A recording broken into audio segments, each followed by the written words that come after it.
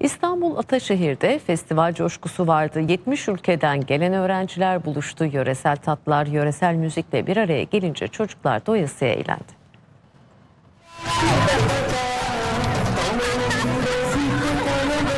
Şarkılar, danslar ayrı ülkelerden ama coşku ortak.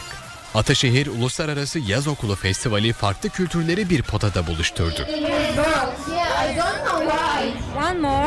Yaz okuluna bu yıl 70 ülkeden gelen 180 öğrenciyle Ataşehir'de yaşayan 800 çocuk katıldı.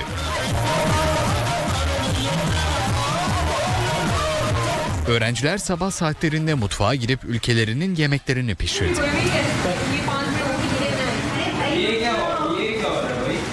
Sonra o yemekleri festival alanında konuklara sundular. Festival alanı rengarenkti.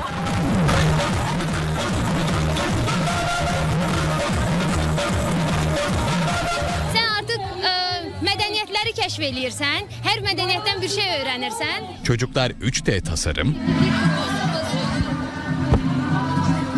bez üzerine boyama yaptılar. Şu an ne yaptığını söyle. Nasıl bir şekiller çıkartıyorsun? Yeşil bir doğa istediler. Festival coşkusu dans ve şarkılarla doruğa çıktı.